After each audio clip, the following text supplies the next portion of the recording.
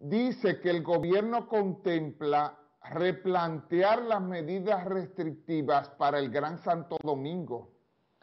Se le dijo al ministro que si ellos pensaban a nivel nacional cambiar y él dice, no, el resto del país está tranquilito.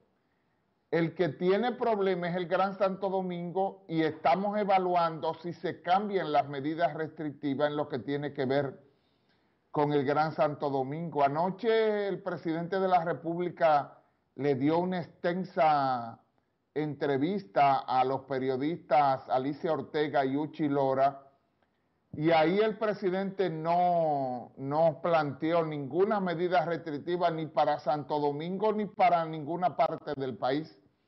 En la mente del presidente no está esto, pero el, ministro sí habló ayer de estas medidas restrictivas. Una cosa que debemos de decir que es falsa es esta que ustedes ven en el extremo, eh, en el extremo derecho.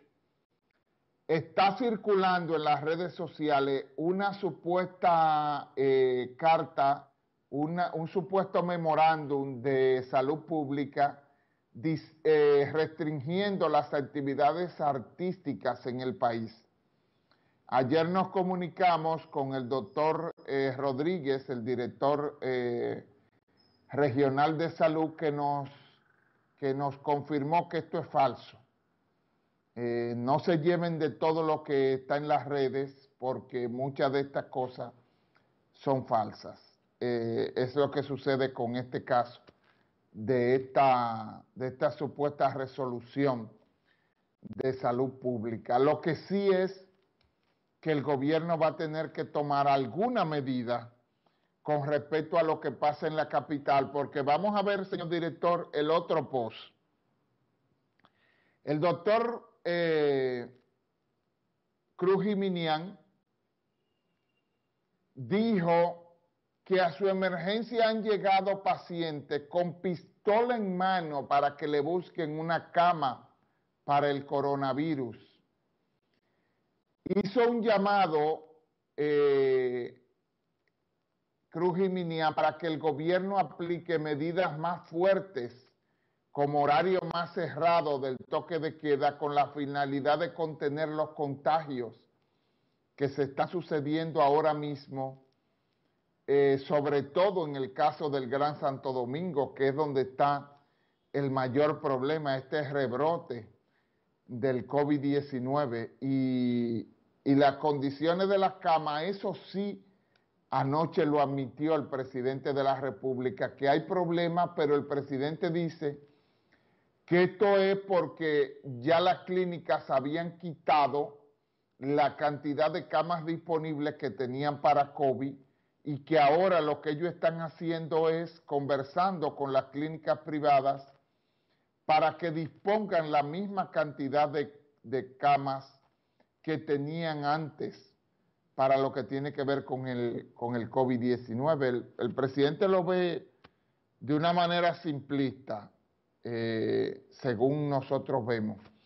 Vamos a ver lo que, lo que dijo Cruz Riminian, señor director, en el caso 2 y cientos de colmadones, repleto de gente, nadie con mascarilla. Hasta el momento, desde el inicio de la pandemia, tenemos un total de prácticamente 800, 750, 800 pacientes vistos, de los cuales tenemos la tasa de, una de las tasas de mortalidades, me atrevería a decir que la más baja a nivel privado. Ahora hay muchos pacientes jóvenes que estamos ingresando en ese rango. ¿Qué ha agravado la situación? Muchos de esos pacientes jóvenes normalmente son fumadores de juca, fumadores de cigarrillos electrónicos, eh, son pacientes que duran 7, 8 días en la casa. Hay informaciones de los funcionarios que nosotros no la ponemos aquí porque no le vemos eh, que tengan prioridad sobre muchísimas cosas que a nosotros nos, nos atañen con más fuerza. Pero como ayer le hicieron esta misma pregunta en la capital y está hoy en el listín diario al ministro de Medio Ambiente, Orlandito Jorge Mera, le habíamos hecho esta misma pregunta sobre el río Masacre cuando él hizo la visita aquí. Y como está tan de moda esta pregunta porque se la hicieron ayer en la capital, vamos a reproducirla, señor director, el caso 3, lo que respondió sobre el masacre el ministro